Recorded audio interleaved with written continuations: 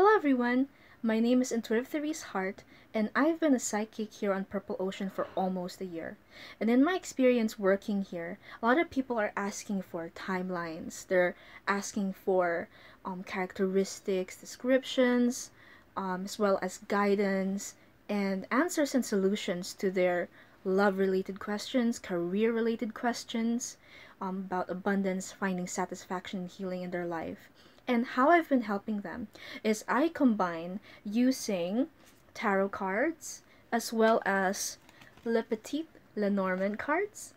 And this combination is really powerful. It's both Lenormand deals with the specific tiny details and tarot goes into like the energy and the lesson. I also use aside from cards, I can also go cardless. I can use clairvoyance, that is psychic seeing, clairaudience, that's psychic hearing, and also my knowing.